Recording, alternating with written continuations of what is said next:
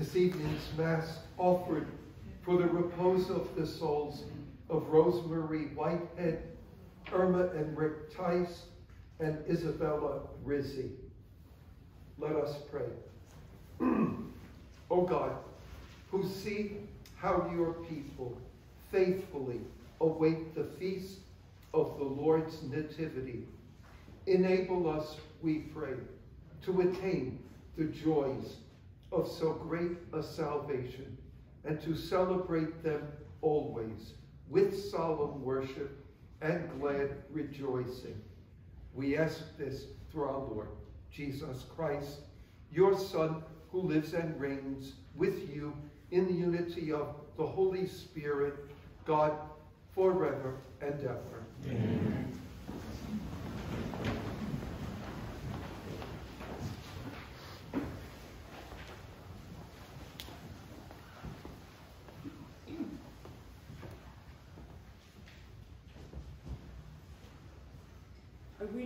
Prophet Isaiah. The desert and the parched land will exult. The steppe will rejoice and bloom. They will bloom with abundant flowers and rejoice with joyful song. The glory of Lebanon will be given to them, the splendor of Carmel and Sharon. they will see the glory of the Lord, the splendor of our God. Strengthen the hands that are feeble, make firm the knees that are weak. Say to those whose hearts are frightened, be strong, fear not. Here is your God. He comes with vindication. With divine recompense, he comes to save you. Then will the eyes of the blind be opened, the ears of the deaf be cleared. Then will the lame leap like a stag, then the tongue of the mute will sing. Those whom the Lord has ransomed will return and enter Zion singing, crowned with everlasting joy. They will meet with joy and gladness. Sorrow and mourning will flee. The word of the Lord. Thanks be to God. Lord, come and save us. Lord, come and save us. The Lord God keeps faith forever, secures justice for the oppressed, gives food to the hungry. The Lord sets captives free. Lord, come and save us. The Lord gives sight to the blind. The Lord raises up those who are bowed down. The Lord loves the just. The Lord protects strangers. Lord, come and save us. The fatherless and the widow he sustains, but the way of the wicked he thwarts. The Lord shall reign forever, your God, O Zion, through all generations. Lord, come and save us. A reading from the letter of St. James. Be patient, brothers and sisters, until the coming of the Lord. See how the farmer waits for the precious fruit of the earth, being patient with it until it receives the early and late rains. You too must be patient. Make your hearts firm, because the coming of the Lord is at hand. Do not complain, brothers and sisters, about one another, that you may not be judged. Behold, the judge is standing before the gates. Take as an example of hardship and patience, brothers and sisters, the prophets who spoke in the name of the Lord. The word of the Lord. Thanks be. Alleluia. Alleluia. The Spirit of the Lord is upon me, because he has anointed me to bring glad tidings to the poor. Alleluia. The Lord be with you. And with your spirit. A reading from the Holy Gospel according to St. Matthew. When John the Baptist heard in prison of the works of the Christ, he sent his disciples to Jesus with this question, Are you the one who is to come, or should we look for another? Jesus said to them in reply, Go and tell John what you hear and see. The blind regain their sight, the lame walk, lepers are cleansed, the deaf hear, the dead are raised, the poor have the good news preached to them. And blessed is the one who takes no offense at me. As they were going off, Jesus began to speak to the crowds about John. What did you go out to the desert to see? A reed swayed by the wind? Then what did you go out to see? Someone dressed in fine clothing? Those who wear fine clothing are in royal palaces. Then why did you go out? To see a prophet? Yes, I tell you, and more than a prophet. This is the one about whom it is written, Behold, I am sending my messenger ahead of you. He will prepare your way before you.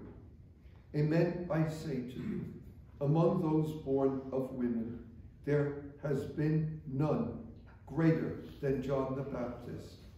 Yet the least in the kingdom of heaven is greater than he.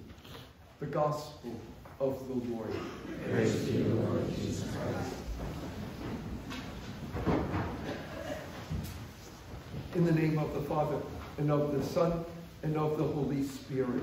Amen. Very often, I recommend that you put a marker in your Bible to certain books, books that if you turn to them, you can get a lot out of them.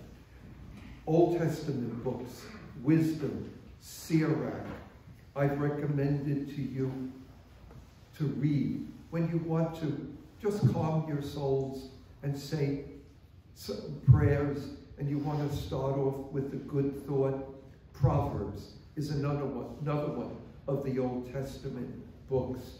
If you want an Old Testament book that tells of the journey through life with all its worries and troubles and dangers, you want to read the book of Tobit in the Old Testament.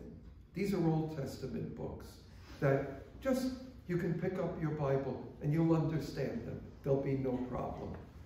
I give you a New Testament book, very easy to understand. The Epistle of St. James. It's in the back of the Apostles. Their epistles, the epistles were sermons that the apostles wrote to the people they had converted. St. Peter has epistles, St. Jude has a small one, St. John has epistles, St. James has one epistle, and it is great. Why? Because unlike St. Paul, who wrote in run-on sentences that go on for 20 lines, using commas, semicolons, colons, and you look at this and you say, wow, good for him. He remembered all that stuff we learned in school. He actually knows how to use a semicolon in and they go on and on. And by the time you get to the end of his sentence, you don't know what, you have to go back. Now, what was this about after all the clauses that St. Paul includes? Unlike his epistles, St. James was a fisherman. Uh, he wasn't a tremendously educated person. He wrote simple thoughts in simple sentences. You want to read something, you read the spiritual advice that the apostle St. James gave in his epistle in the back of the Bible. It's not that long, maybe about eight or nine pages. Of the apostles, off the top of my head, I'm going to say that in the Gospels, I don't remember St. James ever speaking. I don't remember any lines that I could say. St. James was quoted as saying this in the Gospel. And yet, whenever our Lord had something big that was coming, he always included St. James. Um, when he went to the top of Mount Tabor to be transfigured, he took St. Peter. Well, that makes sense. He was the head of the apostles. He took St. John. That made sense also. John was the only apostle who was loyal to him to the very end, stand, stood at the foot of the cross, didn't care if they arrested and crucified him too.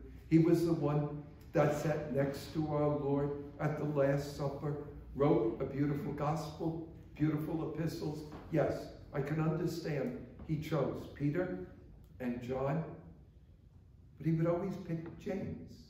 And it'll mention in the Gospels, you'll hear it, that these seem to have been the three that he kept closest to him. And yet St. James really doesn't speak. There are no lines for St. James in the Gospels. All we know about St. James are the things that he wrote in his epistle. And there we see a man who had a spirituality that is very simple, direct, and makes good common sense. Because one of the things about St. James, probably, my guess, why did God keep him so close when he didn't really say anything in the Gospels?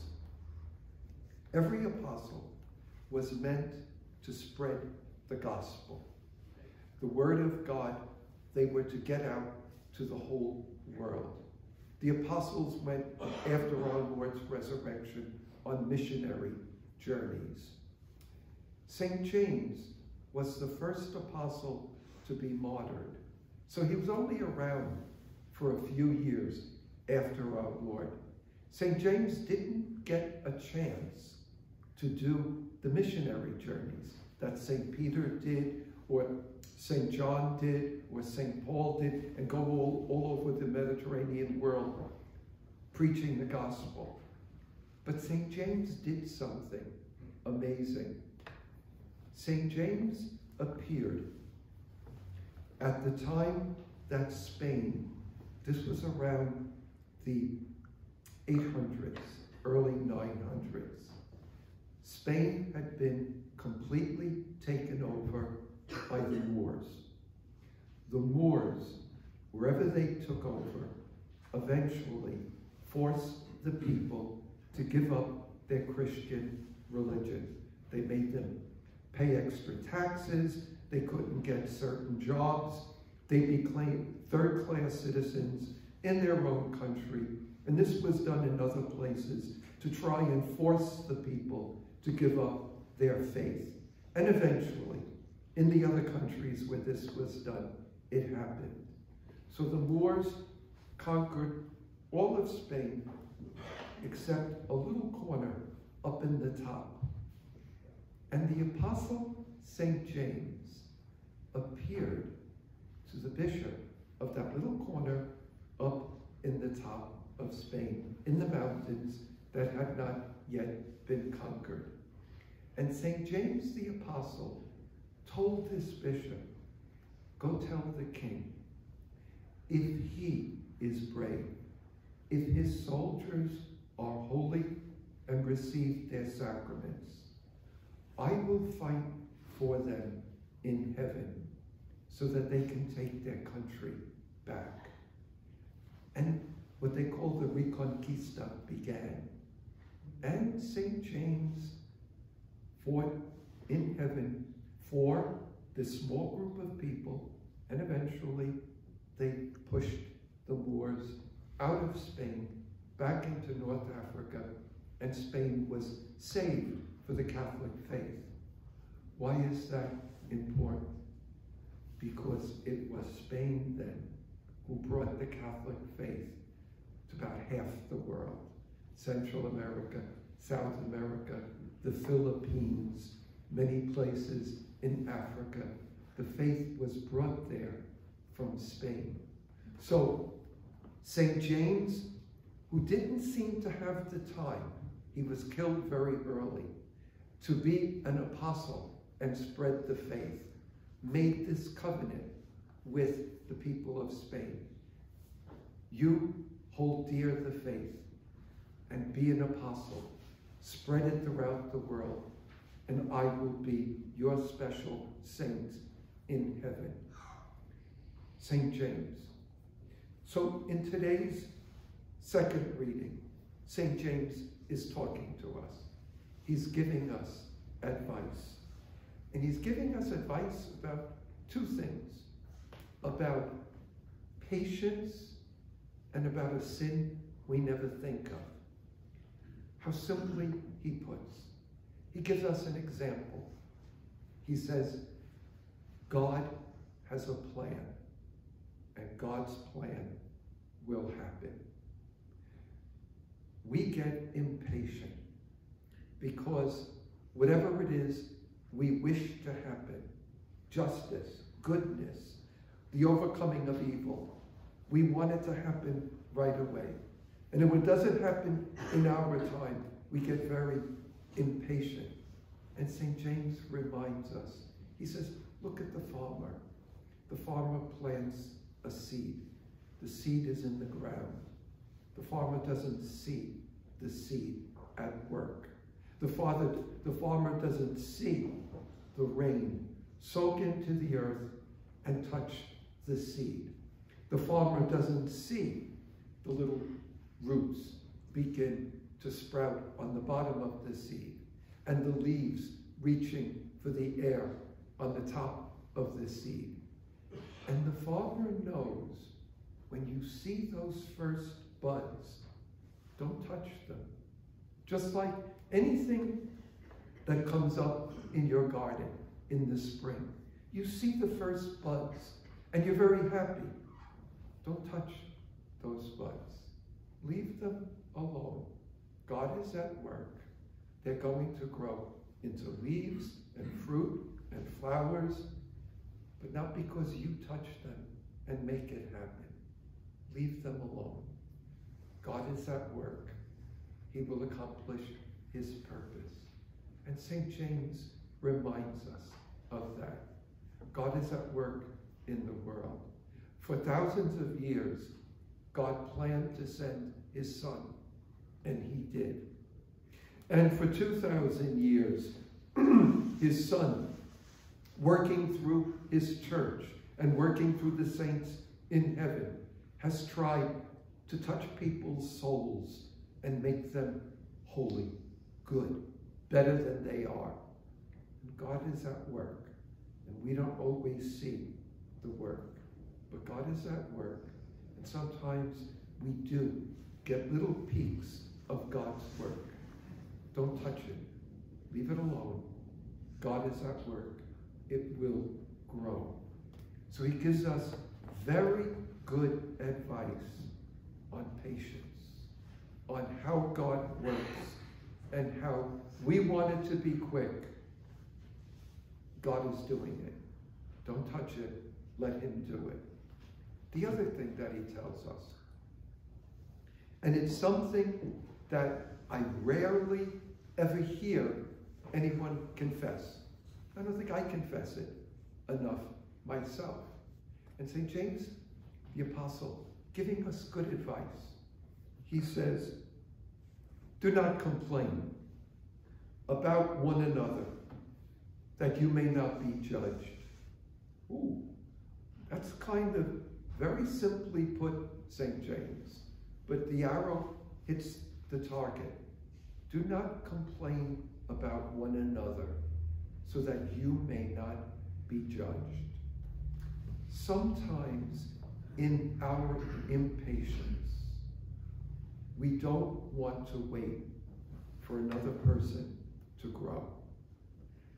We don't see the fact that we grew ourselves, that we didn't start out as finished products, that we had to learn. And sometimes we learn by listening, sometimes we learn by mistakes. And we took three steps forward and two steps back and four steps forward and only one step back. That sometimes learning, understanding is a process. And another person may not be where I want them to be in the process at the moment. And so what do I do then? I start complaining about that person. I start complaining because I know that you're not supposed to say things like that. That person doesn't know that yet. I know you're not supposed to act like that. That person doesn't seem to know that you're not supposed to act like that yet. They haven't learned that. Yeah, but Father, they're 55. Well, they haven't learned it yet. The presumption is God is at work. But in this case, the seed is growing even slower than most other seeds grow. And St. James tells us, pay attention to what's supposed to grow inside of you. And don't be watching other people. And don't be complaining about other people who aren't at the same stage of growth, understanding propriety of actions that you are at. Pay attention to yourself and be sure you nourish the seed of faith in your soul with prayer, with the sacraments, so that your seed can grow and can grow speedily and can grow into a fruitful plant that benefits everyone around them. But in the meantime, you're going to meet other plants that aren't growing as quickly and maybe haven't grown at all.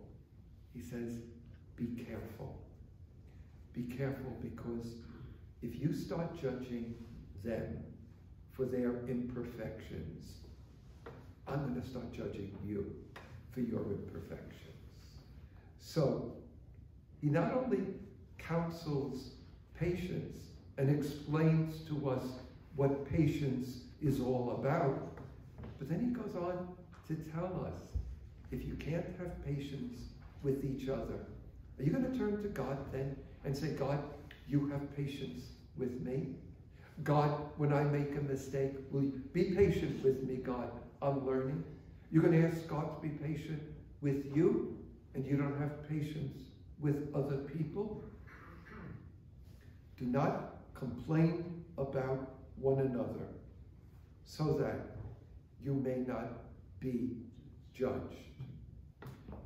St. James, in all the Gospels, I don't think you ever opened your mouth and said anything that anyone thought, Matthew, Mark, Luke, or John, thought was worth writing down. Apparently, he didn't say anything, but God included him on all the big moments, along with Peter and along with John, because in his own way, James was soaking in, and James was understanding, and James knew what he had to accomplish, and James understood the wisdom of God. And if he didn't say anything in the Gospels, when he sat down to write his epistle, this letter of teaching, he said an awful lot. Want to read something nice in the Bible? He said more. In the name of the Father, the Son, and the Holy Spirit. Please stand for the creed. I believe in one God, the Father Almighty, maker of heaven and earth, all things visible and invisible. I believe in one Lord Jesus Christ, the only begotten Son of God, born of the Father before all ages, God from God, light from light, true God from true God, begotten not made, consubstantial with the Father, through him all things were made. For us men, for our salvation, he came down from heaven, and by the Holy Spirit was incarnate of the Virgin Mary, and became man. For our sake was crucified under Pontius Pilate. He suffered death and was buried, and rose again on the third day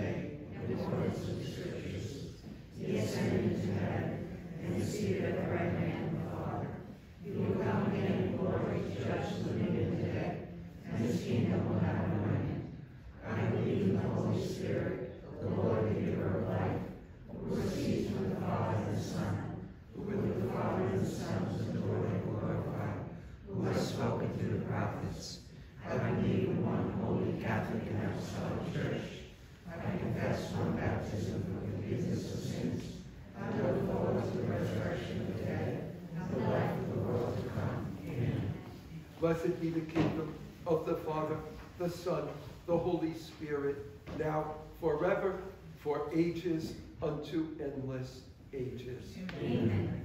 The response to each petition will be, Lord have mercy, for peace in our world, and end to violence wherever people are being persecuted, driven from their homes, or put to death, especially in Ukraine, that through the intercession of Mary, Queen of Peace, God's gift of peace might soon be obtained. Let us pray to the Lord. Lord, have mercy. That more young men and women will hear God's call to a religious vocation and follow his voice. Let us pray to the Lord. Lord, have mercy. For our Pope Francis and our Bishop John, that God may continue to guide them in strength and wisdom. Let us pray to the Lord. Lord, have mercy. That civil leaders will use their authority to provide bread for the hungry, life for the unborn, and justice for the oppressed. Let us pray to the Lord. Lord, have mercy. For the sick of the parish, especially Jimmy Hughes and Christine Ikes, let us pray to the Lord. Lord, have mercy. For deceased family and friends, and the souls of those enrolled in our parish purgatorial society for this month, let us pray to the Lord. Lord, have mercy. O God, help, save, pity, protect us who call upon you in faith. For we do rely on the intercession of Blessed Virgin Mary, imploring Saint Gennaro, all the saints, we commend ourselves, each other, our whole lives to Christ our God, to thee be glory for ages unto endless ages. Amen. These are the announcements for this week. Tuesday evening, December 13th, we will celebrate the feast of St. Lucy. The Mass will be celebrated in Italian at 7 p.m. No 8 a.m. Mass. Traditional St. Lucy's food will be available after Mass in the parish center. 2023 collection envelopes and calendars are available to for pickup.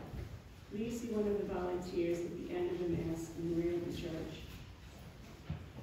Please consult the bulletin for details about our St. Nicholas Gifts the Poor program. So, to share in our.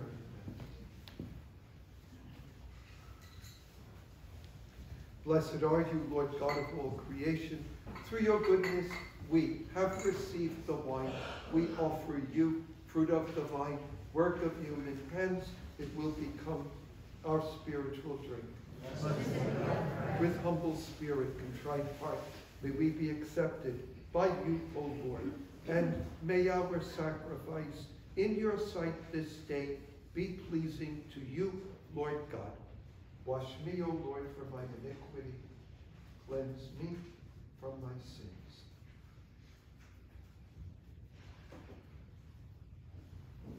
Pray, brethren, that my sacrifice and yours may be acceptable to God the Almighty Father.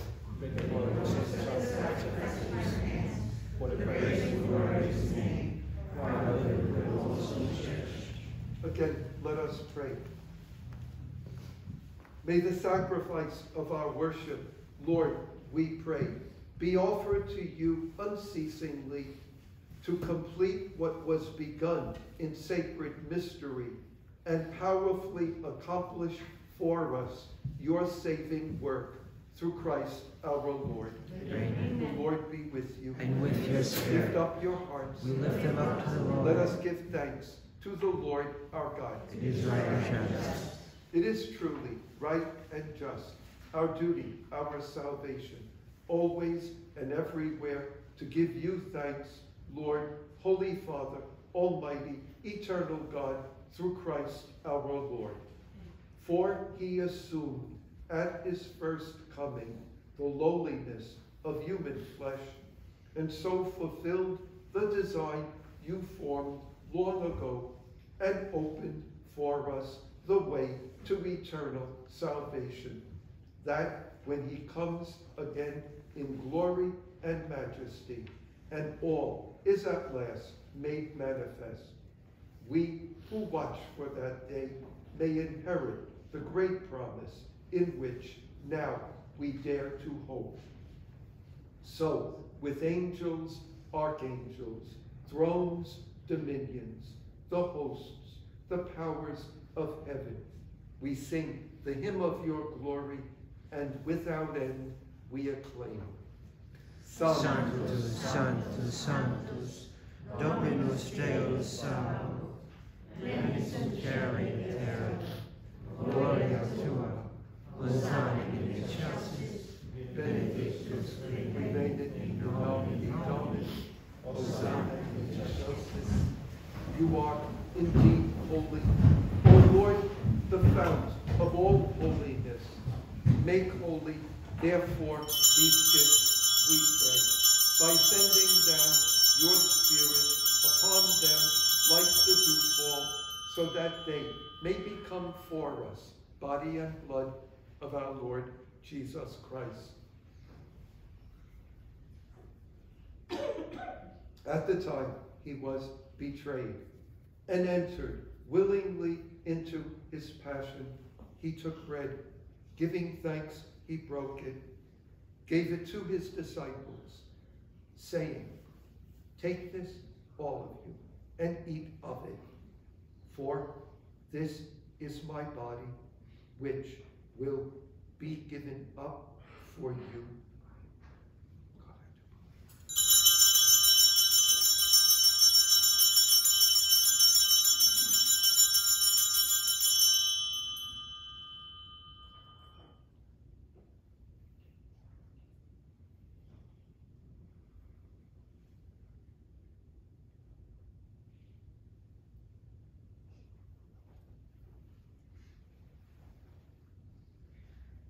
In a similar way, when supper was ended, he took the chalice.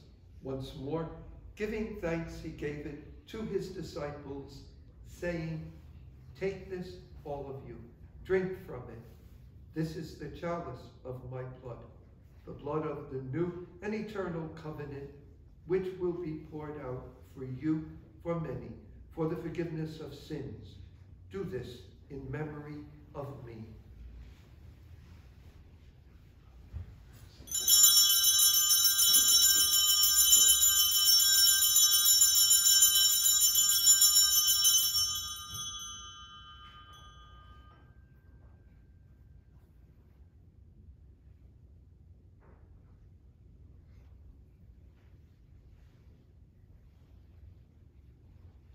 The mystery of faith.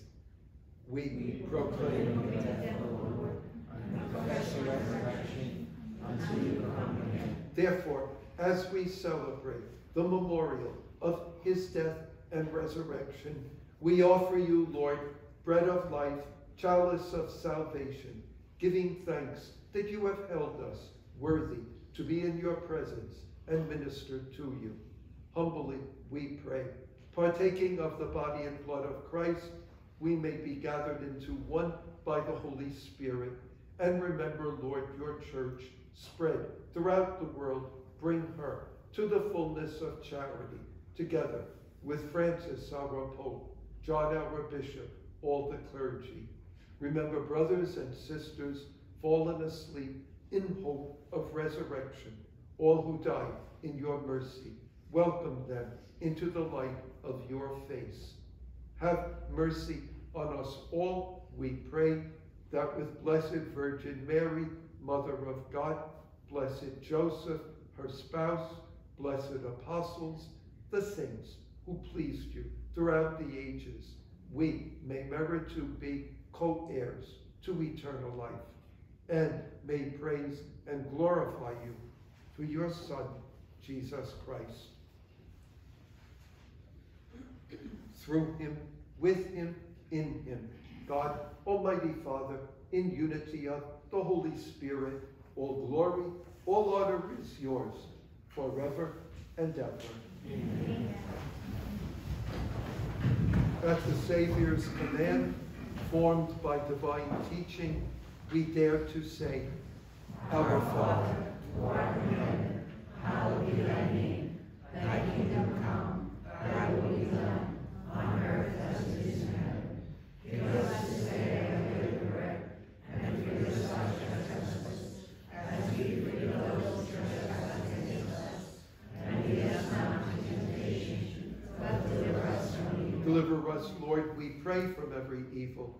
Graciously grant peace in our days, that by the help of your mercy we may be always free from sin, safe from all distress, as we await blessed hope, the coming of our Savior, Jesus Christ.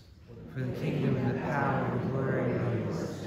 Lord Jesus Christ, who said to your apostles, Peace I leave you, my peace I give you. Look not on our sins, but on the faith of your church. Graciously grant her peace and unity in accordance with your will, who live and reign forever and ever. Amen. The peace of the Lord be with you always. And with your spirit.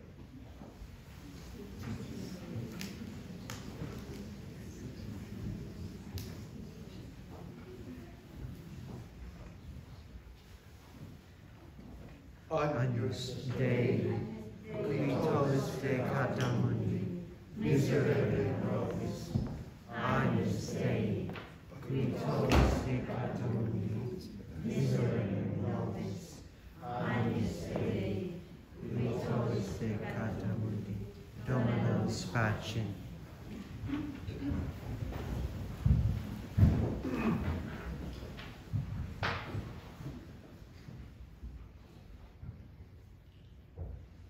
Behold the Lamb of God. Behold him who takes away the sins of the world. Blessed are those called to the supper of the Lamb. O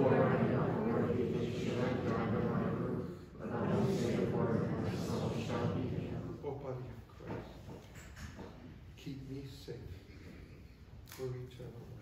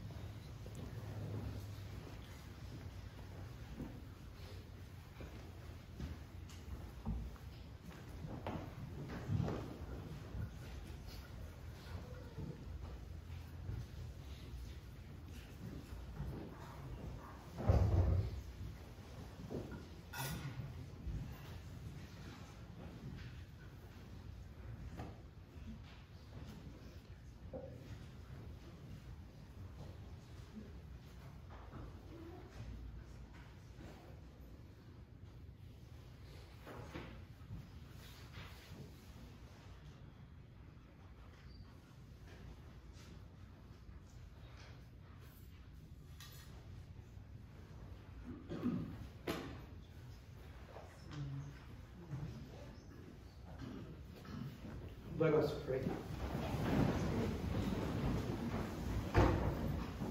We implore your mercy, Lord, that this divine sustenance may cleanse us of our faults and prepare us for the coming feasts. And we ask this through Christ our Lord. Amen. The Lord be with you. And with your spirit. May Almighty God bless you, the Father, the Son, the Holy Spirit. Amen. Go forth, the Mass is ended. Thanks be to God.